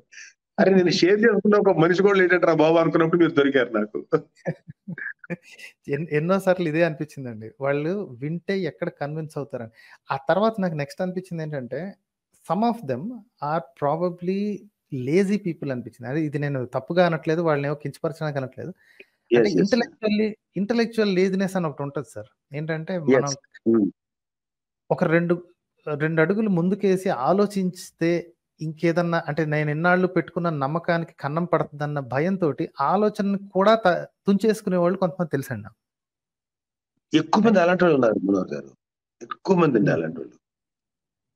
హ్మ్. సో, నిజాయితీగా కూర్చొని ఆలోచిస్తే ఇది ఏదో ప్రశ్నార్థకంగా ఉంది అని. ఇప్పుడు ఆ ఆర్గ్యూ చేయంగానే వెంటనే okay. I am convinced no god from today అని ఎవ్వరు అనరండి. ఓకే. It it's process! ప్రతి ఒక్కళ్ళకి ఒక జర్నీ ఉంటది. కొంతమంది కొన్ని రోజులు పడతది. కొంతమందికి సంవత్సరాలు పడుతుంది. There are some people. మీకు తెలిసే ఉంటుంది. 5 ఏళ్ళు, 10 ఏళ్ళు పట్టిన వాళ్ళు కూడా ఉండుంటారు. అన్ని రకాల నేనే ఉన్నాను గారు. నేనే ఉన్నాను. ఎవరో ఎవరో. నేనే చెప్తున్నాను. నేను దేవుడిని కొంతకాలం నమ్మి, మళ్ళీ కొంతకాలం దూరం అయ్యి, ఇక తర్వాత మళ్ళీ నమ్మి, ఇప్పుడు రెండోసారో, మూడోసారో సెకండ్ టైమ్ అన్నమాట. ఫర్మ్‌లీ అంటే ఇంకా నాకు తెలిసిపోయి నాకు అర్థమైంది. There is no question of god. Only కంటికి కనపడేటువంటి ఏ విశ్వం అయితే ఉందో, ఏ భూమి అయితే ఇది దీని మీద జీవితమే ఉందనేది తప్ప నాకు నేను అది క్లియర్ అయింది. ఇన్నేళ్ళు పట్టింది నాకు కూడా. అదే. అదే. సో, ఆ ఇబ్బందిని హ్యాండిల్ చేయటం ఇష్టం లేక నడిచిపోతుంది కదా! ఇప్పుడు ఎందుకు కష్టపడి ఇప్పుడు ఆలోచించి మళ్ళీ ఇప్పుడు అంటే అన్నిటిని అన్‌రావెల్ చేసుకుంటా ఉంచేవాళ్ళండి. ఇప్పుడు కొంతమంది చాలా మడి ఆచారాల ఆహ్, ఇళ్ళల్లో ఉండుంటారు. డజంట్ మ్యాటర్ ఏ క్యాస్ట్ అనేది చాలా మంది even if they don't belong to those this things they ఈ మడి ఆచారం ఉంటుంది వాళ్ళు ఒక నిష్ఠతోటి ఒక- పద్ధతి ప్రకారం ప్రతి పూజకి ప్రతి దీనికి సో ఇవన్నీ నేను ఇన్ని సంవత్సరాలు చేసింది నేను ఇది మోసమేమో లేదా ఇదంతా అబద్ధమా నేను ఎలా తట్టుకోవాలి నాకు అన్ని మంచి మెమరీస్ ఉన్నాయి కదా ఇవన్నిటిని హ్యాండిల్ చేయటం ఇష్టం లేక అసలు దేవుడు లేడు అనే కాన్సెప్ట్ లేదా అథీజం అనే కాన్సెప్ట్ కనీసం అపోజిషన్ మాట వినటానికి కూడా ఇంట్రెస్ట్ చూపించకుండా క్లోజ్ చేసుకుని వెళ్ళిపోతారు అనమాట నాకెందుకు. చిన్న ఇంటరప్షన్ మీరు అన్నదానికి ఒక మా ఇండస్ట్రీకి సంబంధించి ఒక ఆయన ఉన్నారు. ఆయన చాలా భక్తిపరుడు. చాలా భయం చాలా బాగా పూజలు చేస్తారు. అందులో శివభక్తుడు అతను. అతను. అంటే ఇప్పుడు కాదు, ఒక పది ఐదారేళ్ళ క్రితం ఆయన శివుడి మీద పాటలు రాశారు ప్రార్థనలు చేశారు. అద్భుతంగా చాలా సరదాగా ఉంటది ఇంటుంటే ఇంటానికి చాలా మంచి ట్యూన్స్ తోటి ఇంట్రెస్టింగ్గా ఉంటది. ఆయన ఒక రోజు అన్నాడు నా బాబు ఒకవేళ ఇంత నేను వెళ్ళి వెళ్ళిన తర్వాత దేవుడు లేడు ఏం లేదు అంతా ఒకటిదే ఏం లేదు అని తెలిస్తే నేను ఏమవ్వాలని అన్నాడు. నాకు నవ్వలేక చచ్చిపోయాను ఆదేశం ఏమండి మీరు కూడా ఇలా అయితే ఎట్లా అంటే కరెక్టేనండి ఓకే. అన్నీ ఇంకేం అనలేదు నా దగ్గర ఆన్సర్ కూడా లేదు. నవ్వేసి ఊరుకున్నాను. మీరు చెప్తే అది గుర్తొచ్చింది నాకు. సో మనోహర్ గారు చాలా రాసుకున్నాను మీరు అడగాలి చాలా ఉన్నాయి. టైం ఏమో అయిపోతుంది. అయినా సరే ఒక టూ మినిట్స్ కొన్ని ఒక్కొక్క కొంచెంసేపు ఉంటాను మీతో మీతో మాట్లాడాలి sure sir sure sir please నేను నేను నాకు అన్ని మతాల్లోనూ మంచి ఫ్రెండ్స్ ఉన్నారండి. అందరూ ఉన్నారండి. ఆ నాకు అన్ని మతాల మీద వాళ్ళ వాళ్ళు హ్యాపీగా పూజలు చేసుకొని దండాలు పెట్టుకొని లేకపోతే వాళ్ళ వాళ్ళ దేవుని ప్రార్థన చేస్తాం నాకు ఎటువంటి నేను ఎప్పుడూ తప్పుగా అనుకోను ఓకే నమ్మకం అది. ఆ నమ్మకం ఎప్పుడైతే వాళ్ళు సైంటిఫిక్గా పైకి వస్తారో నాలెడ్జ్ వస్తుందో వాళ్ళు మళ్ళీ ఒక రేషనల్ థింకింగ్ వస్తలే పర్లేదు మనం ఏం చేయక్కర్లేదు అనిపిస్తుంది. అయితే నాకు ఒక రెస్పెక్ట్ టువర్డ్స్ హిందూయిజం మీద ఒక రెస్పెక్ట్ ఉంది మనోహర్ గారు. అంటే. That doesn't mean that other religions మీద గౌరవం లేదు? ఎవరెవరి మతాల మీద గౌరవం ఉంది. బట్ హిందూ రిలీజియన్లో ఒక ఒక ఒక సస్పెన్స్ ఒక ప్రత్యేకమైన ఫీచర్ ఉందండి. అదేంటంటే నాట్ దట్ దేవుడు మీద లేకపోతే పురాణాల మీద కాదు కానీ ఒక నిరీశ్వరవాదం లేకపోతే మతాన్ని నమ్మినటువంటి ఒక నాస్తికత్వము ఇలాంటి వాళ్ళకు కూడా ఈ మతంలో ఒక యాక్సెప్టబిలిటీ అంటారా ఒక గౌరవం ఉందండి. ఎందుకంటే అలాంటిది చార్వాకం అనే మతం అయితే పుట్టేది కదా కదా మనం అలాగే ఇది నాకున్న నాలెడ్జ్ కరెక్ట్ కదో కరెక్ట్ చేయండి. అలాగే రెండోది హిందూ మతంలో అంటే ఐఎమ్ నాట్ మతాన్ని ప్రోపగేట్ చేస్తున్నాను కాదు. వై ఐ రెస్పెక్ట్ అంటే అరే ఒక మతంలో ఇదే ఇంకా వేరే చోట్ల అయితే నమ్మని వాడిని ఒక చాలా ఎక్కువ చూస్తారు. ఇక్కడ మనకి ఆ స్వేచ్ఛ అయితే హిందూ మతంలో మనకు దొరుకుతుందండి. కోర్స్ ఈ రోజు ఈ మధ్య కాలంలో ఫినాటిజం పెరిగిపోయి ఎక్కువ అటాకింగ్ అయింది కానీ చాలా కాలం క్రితం వరకు మా చిన్నప్పుడు అయితే నిరీశ్వరవాదం లేదా దేవుడు నమ్మడం మీద పెద్దగా ఏమి ఇష్యూస్ ఉండేవి కదండి. మరీ ఎక్కువైపోయింది. సో అలాగే ఈ హోమోసెక్సువాలిటీ ఉంది మనకి హోమోసెక్సువాలిటీ అంటే దట్ ఇస్ ఇండిపెండెంట్ చాయిస్ కదా. సో ఒక వాళ్ళ మీద ఒక భ్రూణాలను లేకపోతే ఒక సెకండ్ ఇలాంటి వాళ్ళకి కూడా ఒక రెస్పెక్టబుల్ ప్లేస్ ఉంది. సో ఇది ఇట వీటిలో ఇంత మతంలో ఇంత ఇదిలో ఉన్నా సరే మిగతా విషయాల్లో పక్కన పెడితే మనలాంటి వాళ్ళకి మాట్లాడటానికి ఒక చిన్న ఫ్రీడమ్ ఉందని నా ఫీలింగ్ అండి. వాట్ అబౌట్ యువర్ ఒపీనియన్ అండి actually currently that is true అండి. కరెంట్లీ అంటే మీరు చెప్పిన టైం పీరియడ్లో యాక్చువల్లీ మనం మనం కొన్ని స్క్రిప్చర్స్ చదివితే కొంచెం పాతకాలం అంటే ఇఫ్ యూ లుక్ ఎట్ ఋగ్వేదంలో కనుక చూస్తే దెర్ ఇస్ వన్ పర్టికులర్ స్టా ఋగ్వేదమా? ఐ థింక్ ఋగ్వేదం అనుకుంటా. I correct it if but వేదంలో డెఫినెట్లీ ఒకటి ఉంది. ఏమనుందంటే మేబీ యజుర్వేదం. ఏమనుందంటే వాళ్ళ దృష్టిలో నాస్తికులు అంటే వేదాన్ని వేదం యొక్క అథారిటీని యాక్సెప్ట్ చెయ్యని వారు రైట్ వాళ్ళకి నిరీశ్వరవాదం కాన్సెప్ట్ కాదు అది. వేదాల యొక్క అథారిటీని వేదాల యొక్క టీచింగ్స్ని యాక్సెప్ట్ చేయని వాళ్ళందరూ నాస్తికులు అనమాట సో హా సో సాటి బ్రాహ్మణుడైనా అయి ఉండొచ్చు అతను గనక ఎప్పుడైతే వేదం యొక్క అథారిటీని ధిక్కరిస్తాడో అతను నాస్తికుడైపోయినట్టు. ఆర్ ఎనీ రాజు హూ ఇస్ నాట్ యాక్సెప్టింగ్ అంటే వేదాల యొక్క అథారిటీని యాక్సెప్ట్ చేయక వేద సమ్మతమైన పనులు చెయ్యకపోయిన వాళ్ళు వాళ్ళందరూ నాస్తికులు this is the definition coming from Vedas అన్నమాట అలాంటి నాస్తికులని నరికేయాలి, తగలబెట్టాలి, పొడి చేసేయాలి అని ఉందండి. సో, ఉంది. ఉంది. డెఫినెట్‌లీ ఉంది. I can show that. అంటే ఇది మనం రిలీజ్ అయ్యేటప్పటికి I will show with evidences అనమాట. అది చూసాను. ఇది ఓకే. నేనొక్ నేనొక్కడినే చెప్పటమే కాదు. నా ఇంటర్ప్రిటేషనే కాదు. మన దయానంద సరస్వతి అదే ఇంటర్ప్రిటేషన్. మన ఈ పుల్లెల రామచంద్రుడు, నాట్ పుల్లెల రామచంద్రుడు ఇంకో బంకుపల్లి మల్లయ్య శాస్త్రి ఉన్నారు. వాళ్ళ ఇంటర్ప్రిటేషన్ అంతా ఇదే. నాస్తికులని ఇలా చేయాలని. మీరు చెప్పిన ఈ టాలరెన్స్ అనేది ఎప్పుడొచ్చింది అంటే. లాస్ట్ 200 ఇయర్స్ అండి. ఎందుకంటే అంద అందరం కలిసి ఒక దే ఇంకొక రాజ్యానికి బానిసలం అయిపోయాం కాబట్టి there hmm. No choice other than accepting. So, వీళ్ళందరూ మన మీరు చెప్పింది ఇంకొకటి కరెక్టే. ఫిలాసఫీస్ మన దేశంలో అంటే ఈ భూ ఈ ప్రాంతంలో, ఈ భూభాగంలో ఫిలాసఫీస్ ఇంక్లూడింగ్ చార్వాక, జైన, బుద్ధి ఈ ఫిలాసఫీస్ అన్నీ నిరీశ్వరవాదం గురించి. All these are yes. Against Vedas. వేదాలకి వ్యతిరేకంగా ఉన్నాయి. అంటే వేదాల యొక్క అథారిటీని ఒప్పుకోని వారు. ప్లస్ ఈ ఈ మూడిటికి ఉన్న ఇంకొక పాయింట్ ఏంటంటే there is no higher power called god. Okay. Hmm. వా ఫిలాసఫీ ఉంది. స్పిరిచ్యుయాలిటీ ఉంది. నేను కాదనట్లేదు. వాటన్నిటిలోని ఫి స్పిరిచ్యుయాలిటీ ఉంది. ఈ చార్వాకం అయితే ప్యూర్ మెటీరియలిస్టిక్ అనుకోండి. కనిపించేది మాత్రమే అని. But yeah! ఈ ఈ గత కొన్ని సంవత్సరాలుగానే మాత్రమే గత కొన్ని అంటే నాట్ దిస్ ఈ 100, 200 ఇయర్స్‌లో ఈ హ్మ్. యాక్సెప్టెన్స్ ఆఫ్ ఆహ్, అంటే ఈశ్వరవాదం లేకపోయినా సరే, ఈశ్వరుడు లేకపోయినా సరే వాళ్ళని పెద్దగా కొట్టకుండా, తిట్టకుండా అగౌరవపరచకుండా ఉండటం అనేది. ఓకే. వరల్డ్ రిలిజియన్స్‌లో చూసుకుంటే ఈ. Islam is the worst form of ah, దాన్నేమంటారు కట్టడి చేసి చేయడంలో వరస్ట్ ఫార్మ్ అదే. Right. Hmm. It cannot tolerate the concept అన్నమాట. అది it does not want to tolerate. అది మెల్లిగా ఇప్పుడు మారుతుందో లేకపోతే ఇంకా ఇంకో 50 ఏళ్ళకి మారుతుందో హ్మ్. హ్మ్. లేడు అంటే మాత్రం భరించలేదు. వాళ్ళ వాళ్ళ దేశాల్లో దేవుడు లేడు అన్న మాటను వాళ్ళు భరించరసల. ఏది జైల్లోనే ఓకే. పడేస్తారు. ఇంకా కుదిరితే ఇంకేమైనా చేస్తారు. అదే the other prominent religion Christianity దగ్గరికొస్తే మీరు హ్మ్. ఒక 500 ఇయర్స్ వెనక్కి వెళితే వాళ్ళు కూడా ఈ ఇస్లాం ఎంత వైలెంట్‌గా ఉందో అప్ వాళ్ళు అంతే ఉండేవాళ్ళు. జరిగింది ఆహ్, ఆహ్, మిడియవల్ డార్క్ ఏజెస్‌లో ఇంగ్లాండ్ లాంటి చోట దేవుడిని నమ్మని. వాళ్ళని విక్టిమ్స్ అని చెప్పి చాలా దారుణంగా చంపిన హిస్టారికల్ డాక్యుమెంట్స్ ఉన్నాయండి. యెస్. యెస్. సో, క్రిస్టియానిటీ అంటే రక్తంతో తడిచిన చేతులేనండి. ఇప్పుడు వాళ్ళు కడిగేసుకుంటున్నారు. చకచకా ఇప్పుడు కడిగేసుకుంటున్నారు. ఎందుకంటే వాళ్ళ దగ్గర నుంచి ఈ కౌంటర్ సారీ ఈ రిఫర్మేషన్స్ గాని, లేకపోతే ఈ ఎన్‌లైటన్‌మెంట్ గాని, హ్మ్. రెనెసాన్స్ గాని ఇవన్నీ వచ్చిన తర్వాత అంటే భక్తి వేరు, దేవుడు దేవుడనే భావన వేరు, మా ప్రజా జీవనం వేరు అని 2 వేరు వేరుగా మార్చుకొని ఆ థాట్ ప్రాసెస్ ఎప్పుడైతే బయలుదేరిందో వాళ్ళు కో ఎగ్జిస్టెన్స్‌ని యాక్సెప్ట్ చేసేసారండి. ఎగ్జాక్ట్‌లీ. 19థ్, 20థ్ సెంచరీకొచ్చాడు. అంటే కోరలు పీకేస్తేనే జరిగిందండి అది. ఇప్పుడు చర్చి. యొక్క కోర కోరలు పీకేస్తే అప్పుడు ఇంక వాడికి కోరలు లేవు కాబట్టి కాటేయలేదు. ఇప్పుడు వాళ్ళకి కోరలు తగిలిస్తే మళ్ళీ కాటేస్తారండి. సో. అందుకనే. ఎప్పుడన్నా ఈ ఈ కాన్సెప్ట్ ఉంటది చూసారా? Separation separation of church and state అని.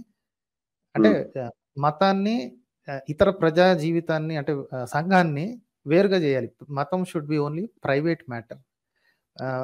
పక్కన వాడు ఏం నమ్ముతున్నాడు, చాలా రైట్.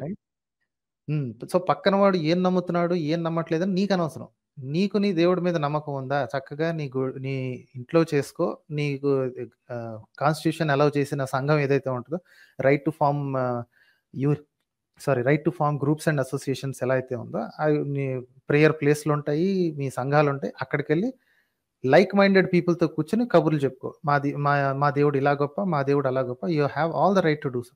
పక్కన. వాడు నువ్వు ఫాలో అవ్వట్లేదు అనో, లేకపోతే నువ్వు ఇతర మతాన్ని ఫాలో అవుతున్నావు. వాడిని కెలికి, వాడిని ఇబ్బంది పెట్టే ఈ హక్కు నీకు లేదు.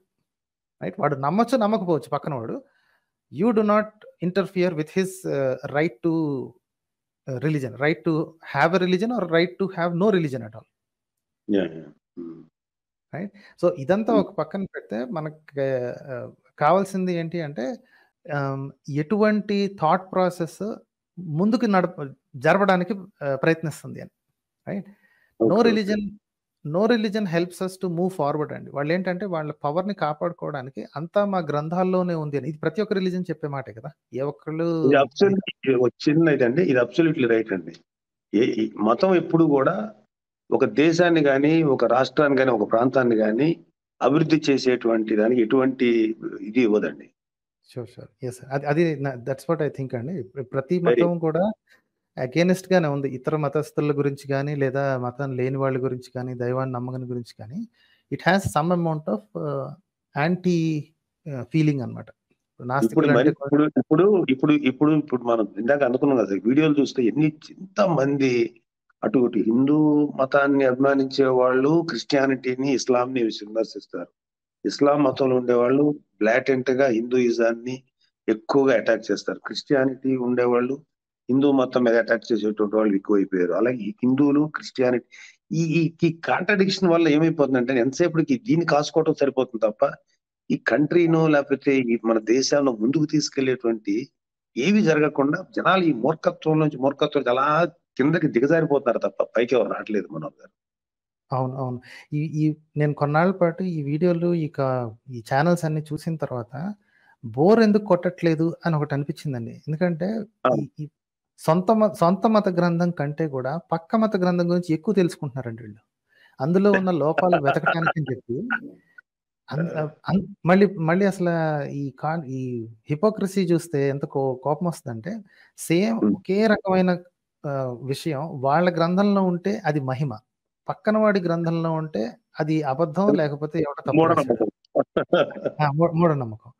సో ఈ ఈ హిపోక్రసీని ఎంతమంది ఎంతకాలం భరిస్తారు అని అంటే అట్ క్రిటికల్ పాయింట్ ఒకటి వచ్చిన తర్వాత రెండిటికి రెండు దొందు దొందే అని చెప్పి వదిలేసి నాకు అక్కర్లేదురా బాబు నా పని నేను చేసుకుంటాను నేను నాకు స్కిల్ డెవలప్మెంట్ చేసుకోవాలి. ఇవి ఇవి చూసుకుంటా కూర్చుంటే నాకు చదువు రాదు ఉన్న చదువు పోద్ది వెదవనైపోయేటట్లున్నాను అని చెప్పి వెళ్ళి వాళ్ళ స్కిల్ డెవలప్మెంట్ చేసుకుంటే మంచిది అని నా ఉద్దేశం అండి. చాలా కరెక్ట్ అండి నేను ఇంకో ఇందాక మీరు అనుకున్న దాంట్లో ఒకటి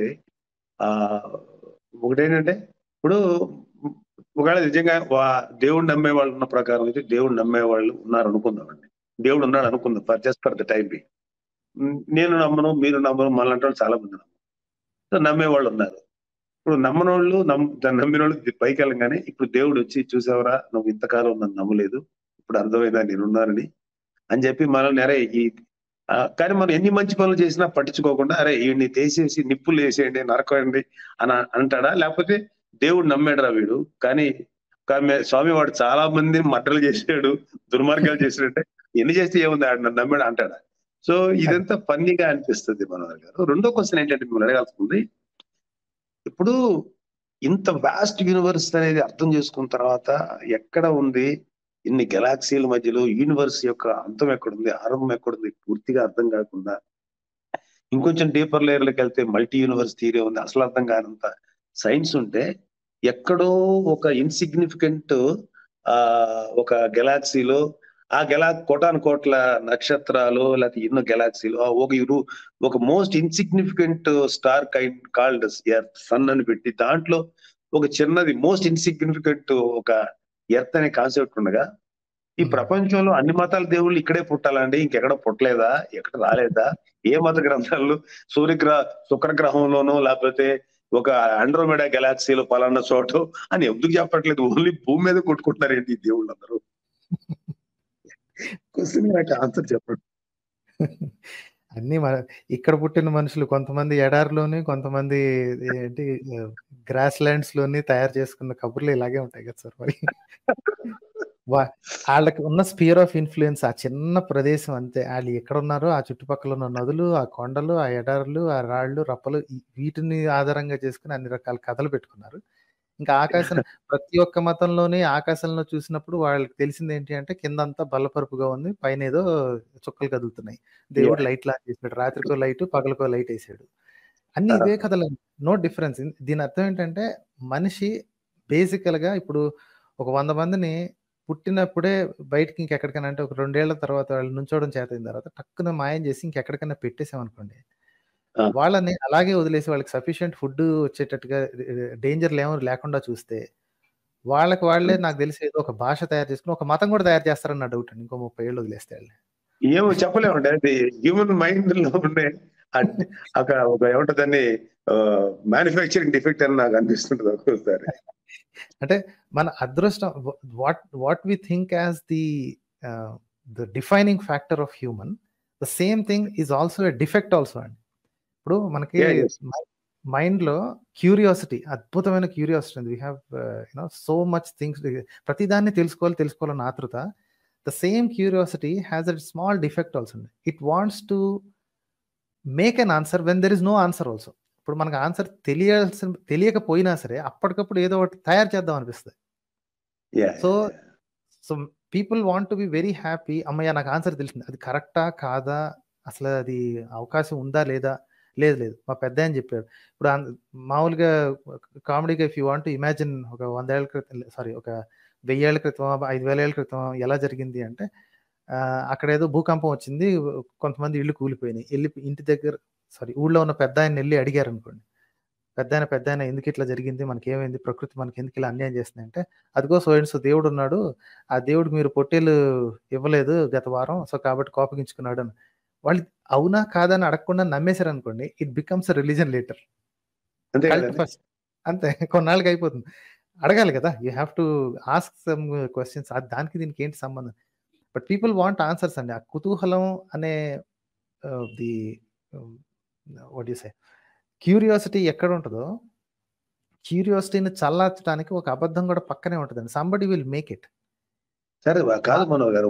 ఒక విషయం చెప్తారండి చాలా మంది చిన్నపిల్లలండి ఇలా అడుగుతున్నప్పుడు వాళ్ళు అడిగే క్వశ్చన్ పెద్దవాళ్ళకి సమాధానం లేకుండా నోరు మూసుకో చెప్పించేయి ఇది ఇంతే అని వాళ్ళు నోరు మూయించేస్తే ఇంక ఎలా అయిపోతారండి పిల్లలు? అలా మూర్ఖత్వంలో వాళ్ళు తయారయ్యి వాళ్ళు పెద్ద అయిన తర్వాత వాళ్ళ పిల్లలకి ఇదే మూర్ఖత్వాన్ని ఇస్తున్నారు కదా!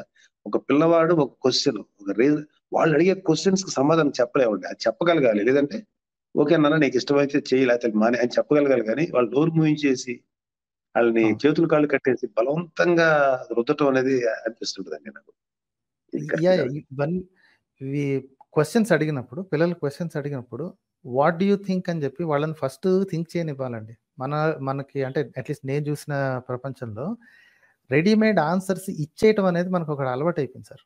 పిల్లల్ని థింక్ చేయాలని ప్రేరేపించకుండా ఇప్పుడు ఇదిగో ఇది ఎందుకు జరిగింది అని అడగటానికి వస్తారు. అది ఏమైనా సరే.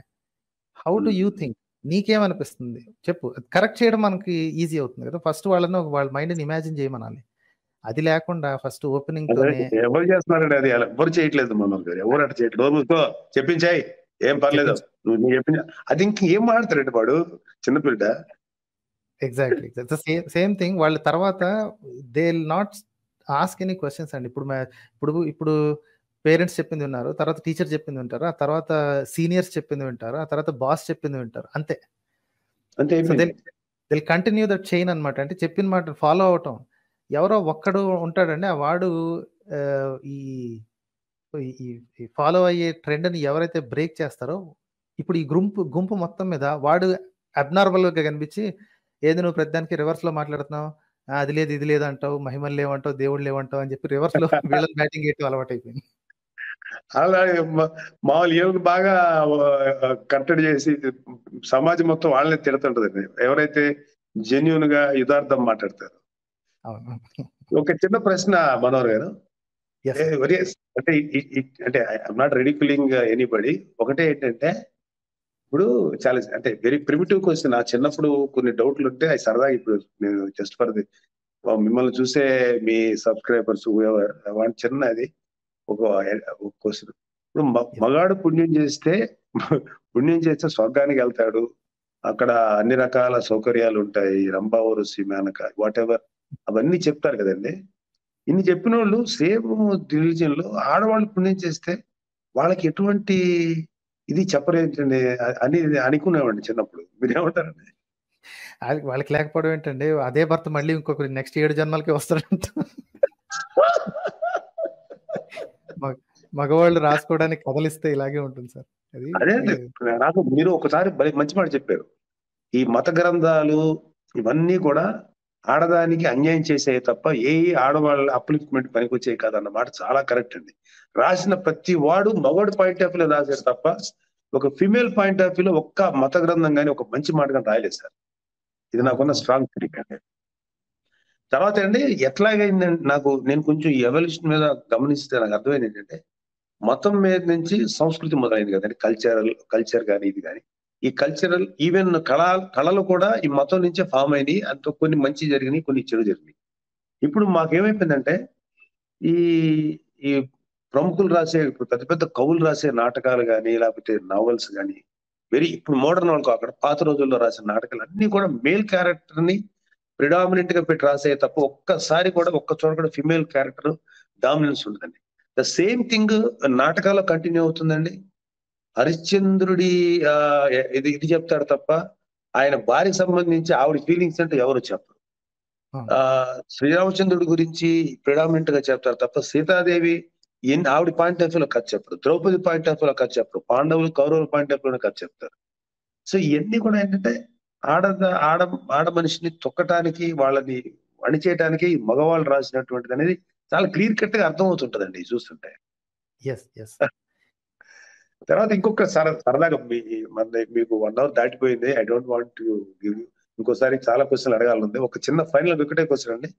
I I'm expecting some kind of funny answer with all due respects ever believes వాళ్ళకి ఏంటంటే ఇప్పుడు చాలా మంది ప్రవచనకర్తలు మేధావులు ఈ- ఈ దేవుణ్ణి నమ్మేవాళ్ళు అరే బాబు భగవద్గీతలో ఇలా చెప్పారు లేకపోతే పలానా చోట ఇలా చెప్పారు అని డైరెక్ట్గా చెప్పకుండా ఒక శ్లోకం చెప్పి అప్పుడు అర్థం చెప్తారు. శ్లోకం ఎలాగో మాకు అర్థమై సాగుతుంది.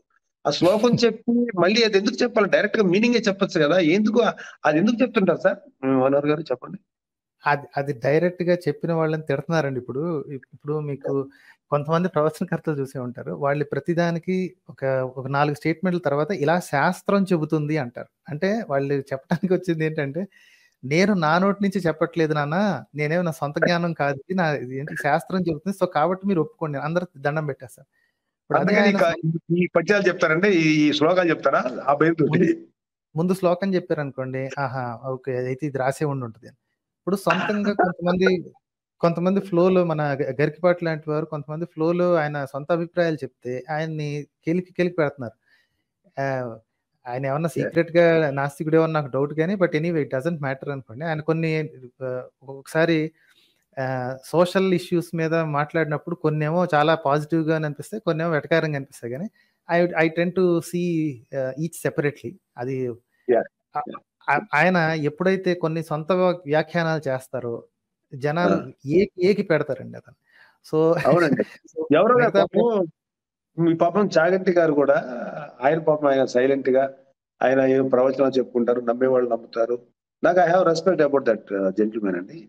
నా నేనే నమ్మను కానీ ఆయన పాపం ఆయన నోరు జారి ఒక మాట ఏదో అంటే అది చాలా క్యాజువల్గా ఒక మాట సమ్ ఒక కమ్యూనిటీకి సంబంధించి ఒక మాట అన్న తర్వాత ఆ కమ్యూనిటీకి సంబంధించిన వాళ్ళు హిందూసే.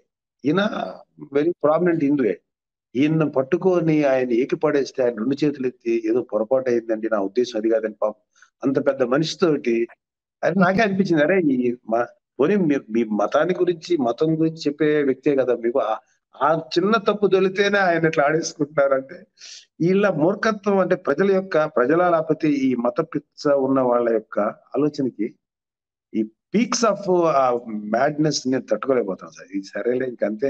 నమ్మినోడిని తిడతారు ఆ నమ్మనోడిని తిడతారు ఈ మూర్ఖత్వగా ఉండేవాడు అనిపిస్తుంటారు నాకు ఒకసారి అంటే ఆర్గ్యుమెంట్ని ఆర్గ్యుమెంట్ లాగా చూడకుండా దాన్ని ఏమంటారు?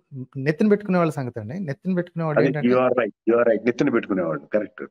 మా మా పెద్ద ఆయన చెప్తే అది ఏం చెప్పినా నిజం అని ఇంకొకళ్ళు ఒకళ్ళు ఇతను చెప్తే ఏది చెప్పినా రాంగ్ అనేది ఇంకొకళ్ళు. అంటే both are appeal to authority fallacy అనమాట అథారిటీ. ఫ్యాలసీ అంటారు. అంటే ఆర్గ్యుమెంట్ ఆర్గ్యుమెంట్లో చుట్టాలి ఎవరు చెప్తే ఏంటండి? ఇప్పుడు మనిషి. పెద్దాడా చిన్నాడా చే- వయసు పెద్ద తక్కువ ఈ వర్గమా ఆ వర్గమా ఆడ మగ ఇవన్నీ కాదు. ఆర్గ్యుమెంట్ యొక్క బలం ఆర్గ్యుమెంటే చూడాలి. రైట్? తర్వాత తర్వాత ఆ పర్సన్ యొక్క ప్రాభవం కానీ అతను కానీ ఇది కానీ యాడ్ చేసుకోవచ్చు. అది secondary. First argument has to stand by itself అన్నమాట. వీళ్ళు మీరు మీరు మీరు మాట్లాడినప్పుడు అండి ఇలాగే చాలా సార్లు చక్కగా మాట్లాడి చెప్తుంటే మీరు మీరు నన్ను నేను ఒకవేళ తప్పు మాట్లాడితే నన్ను కరెక్ట్ చేయండి. బట్ నా ఇది ఇది. ఒకవేళ మీరు చెప్పండి దేవుడు ఉన్నాడని చెప్పి నమ్మడానికి నాకే అబ్జెక్షన్ లేదు. నాకు జస్ట్ ప్రూవ్ చేయండి నేను ఎన్నిసార్లు అన్నా సరే ఆ ఈ పిచ్చి రిఫరెన్స్ ఇస్తారు తప్ప ఎవరు మీరు చాలా సార్లు మిమ్మల్ని చూశాను మీరు అదే మాట అన్నారు మీరు you are ready for acceptance if you prove ఎవడు ప్రూవ్ చేయకుండా. మిమ్మల్ని ఫుట్బాల్ ఆడేసి మిమ్మల్ని ఇష్టమైన మీరు దానికి రివర్స్ అవడం కూడా నాకేం తప్పు అనిపించలేదు చాలా సార్లు. అంటే ఇప్పుడు ఎవిడెన్స్ బేస్డ్ అండి ఇప్పుడు వాళ్ళు చూసింది లేదు నేను చూసి we are all living for evidence అన్నమాట. అంటే హూ ఎవర్ ఇస్ ఏమిటి రేషనల్ థింకర్స్ కానీ we are living for evidence అనమాట. ఇప్పుడు పని చేసేవి పని చేస్తాయని ఒప్పుకోవడానికి మాకు ఆహ్, బాధనిపించదు. పని చెయ్యని వాటిని కూడా పని చేస్తాయని చెప్పటం ఫర్ ఎగ్జాంపుల్ మన ఆల్టర్‌నేటివ్ సిస్టమ్స్ గాని, థెరపీ సిస్టమ్స్ గాని ఇవన్నీ! యాహ్! పని చేస్తాయని ఆధారం చూపిస్తే నోరు మూసేస్తాం గదా! It's simple to shut our mouth అనమాట. ఇప్పుడు మా నోరు. మీరైనా. యాక్సెప్ట్ చేయడానికి రెడీగా కదండీ. అంతే అంతే. ఇట్ డజంట్ మ్యాటర్ గదా! మనకి అదేమి నెత్తి మీద పెట్టుకొని మాకు ఇగో అస్సలు లేదు మాస్టర్. ఎందుకంటే నేను I keep saying to people that మాకు మ ఇగో పెట్టుకోవడానికి మేమెవరమండి. ఇంకో 30 ఏళ్ళలో పోతామండి ఇక్కడికి. కరెక్ట్. పెట్టుకొని నేను కరెక్ట్. గె గె గెలిసేది లేదు, పెట్టేది లేదు, చేసేది లేదు. జస్ట్ ఎవిడెన్స్ ఒక్కటి చూపిస్తే టక్కున నోరు మూసి మీ దారికి వచ్చేస్తా నేను. అంతే గదా! చాలా థాంక్ యూ మనోహర్ గారు. ఇంకా చాలా క్వెషన్స్ ఉన్నాయండి. నీకు ఆల్రెడీ మీకు ఐ క్రాస్డ్ యువర్ లిమిట్స్. మీ టైమ్ లిమిట్స్‌ని దాటేసాను. సో ఇంకా ఇంకా చాలా మాట్లాడాలుంది. ఇంకా నా దగ్గర చాలా క్వెషన్స్ ఉన్నాయి. నేను మా మనోళ్ళతోటి చెప్పి ఇంకొక్కసారి సరదాగా పండగ అయిన తర్వాత లేకపోతే ఫిబ్రవరిలో, మార్చ్‌లోనో whichever is convenient for you. Will yes. Nice meeting. And ఎవరైనా సరే మీ ప్రోగ్రామ్ చూసే వాళ్ళకి నేను చేసే అప్పీల్ ఒకటే మనోహర్ గారు. నేను మీకు ఫేవర్గా మాట్లాడతలేదండి. ఒక జ్ఞానానికి ఫేవర్గా మాట్లాడుతున్నా. జ్ఞానాన్ని ఇచ్చేటువంటి మీలాంటి వ్యక్తులిచ్చే మంచి మాటలు, మంచి మంచి వైజ్ఞానిక విజ్ఞానదాయకమైందో లేకపోతే హేతుబద్ధమైందో రీజనబుల్‌గా మాట్లాడే వ్యక్తుల్ని ఈ సమాజం 100% సపోర్ట్ చేసి తీరాలండి. కాస్త నువ్వు దేవుడిని నమ్మినా ఓకే, నమ్మకపోయినా ఓకే. అట్‌లీస్ట్ ఒక వ్యక్తి అనే ఒక మనిషి ఒక ఒక వ్యక్తి నిజాన్ని మాట్లాడుతున్నాడు. తప్పు మాట్లాడితే నువ్వు తప్పు మాట్లాడావని చెప్తే ఒప్పుకుంటానికి రెడీగా ఉన్నాడు. కాబట్టి మీలాంటి వాళ్ళని గౌరవించాలి ఈ సమాజంలో. అలాగే మీలాంటి వాళ్ళు చెప్పే విషయాలని ఎక్కువ మంది వినాలి. ఇంకొక చిన్న రిక్వెస్ట్ అండి మనో మనోహర్ గారు. నాకు మరి ఎలా తెలీదు. మీలాగా మాట్లాడే వాళ్ళ యొక్క సమూహం కూడా చాలా పెరగాలండి యూట్యూబ్‌లో. I request sir. Sir. Sir. Hmm. Thank you Manohar garu. Will meet some other time and I am very very happy to meet you and my best wishes are with you. నమస్కారం అండి. Thanks a lot sir. Thanks a lot. మీరు రెగ్యులర్‌గా వస్తుండండి sir. I I hope డెఫినిట్‌గా I అండి. మీ ప్రతి ప్రతి ప్రోగ్రామ్ చూస్తాను. నేను మళ్ళీ నా మళ్ళీ మళ్ళీ మీ మీ ప్రోగ్రామ్స్‌కి వచ్చి సరదాగా మీరు చెప్పే మంచి మంచి విషయాలు మీ ద్వారా నేను వింటూ నాలాగే చాలా వేల మందికి చేరాలి. చేరే విధంగా మనం ఉంటామండి. చేస్తామండి. Thank you. నమస్కారం. Thanks a lot sir. Thanks a lot. Thank you.